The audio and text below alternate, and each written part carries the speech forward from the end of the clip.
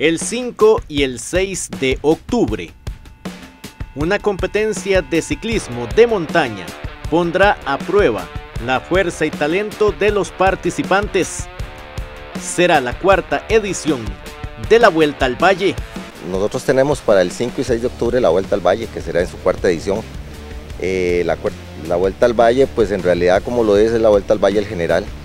Son 127 kilómetros por ahí con casi 5.000 metros de ascenso acumulado, más o menos 5.000 metros de ascenso acumulado. Para el sábado 5 de octubre, el recorrido sale desde el Polideportivo, Pedregoso, San Ramón Sur y Norte, Valencia, Quebradas Arriba, Santa Marta, Miravalles, Tirrá, Pueblo Nuevo, San José de Rivas, Miraflores, San Blas, La Linda, Santa Elena, Peñas Blancas, terminando en el campo ferial de Daniel Flores.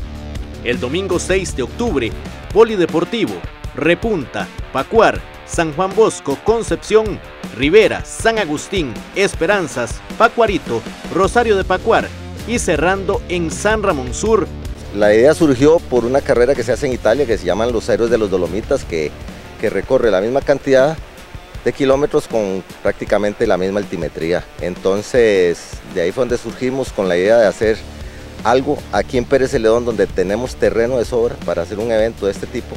En tres semanas se abrirán las inscripciones para esta cuarta edición de la Vuelta al Valle 2024.